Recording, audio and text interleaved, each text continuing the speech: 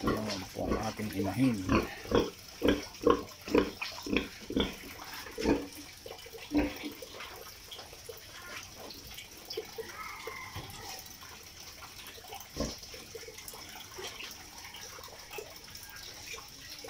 Bagong ligo. Magpakain.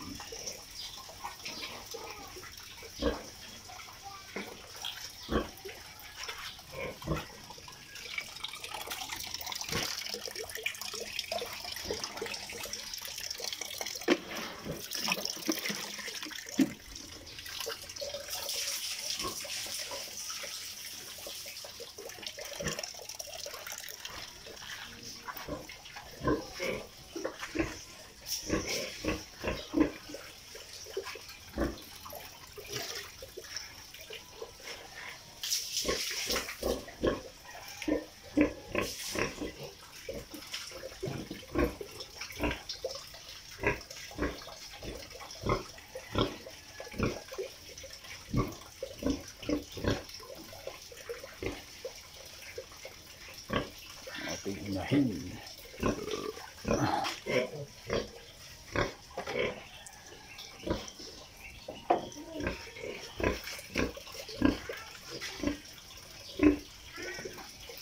Ito yung pangalawang inahin mga kabady.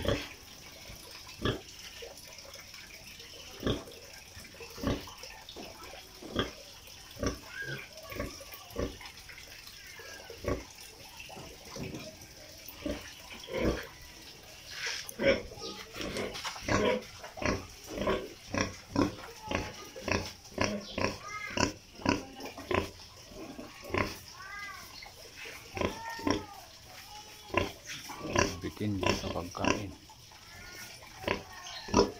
Hindi siya pwedeng busugin.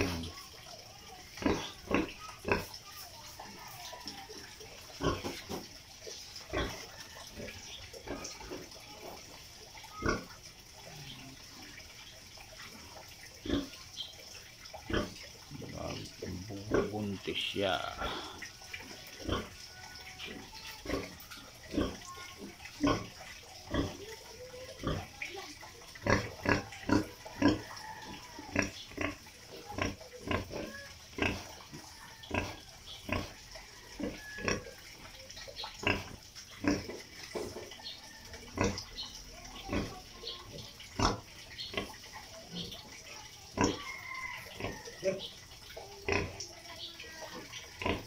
Yan po kabay.